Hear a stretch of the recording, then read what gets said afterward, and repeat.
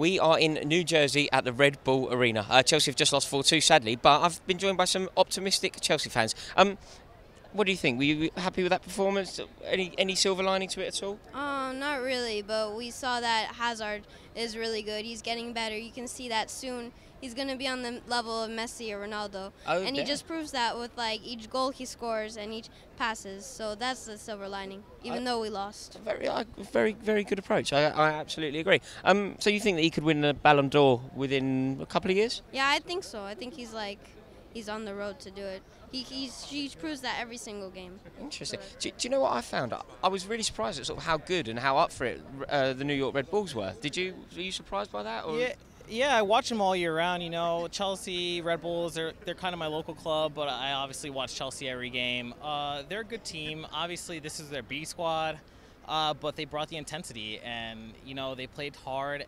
So did Chelsea. Uh, you know, they were down four one, uh, three one, and and Chelsea. You could see that the play of game was sped up. Yeah. And that's when they scored their second goal, and you can you could kind of see it, and I'm hoping that's what's going to be next year. Is Yeah. from the start, it's just going to be 100%, Yeah, yeah.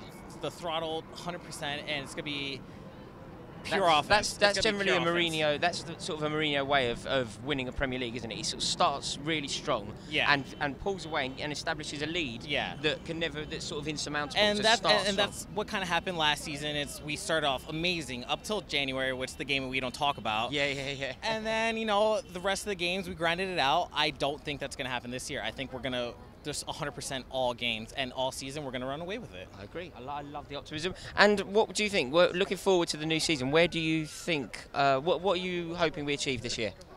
I hope we just do good. Like, Do you think we could win a title? probably, definitely. Definitely. Definitely. You heard it here first. Definitely for the title.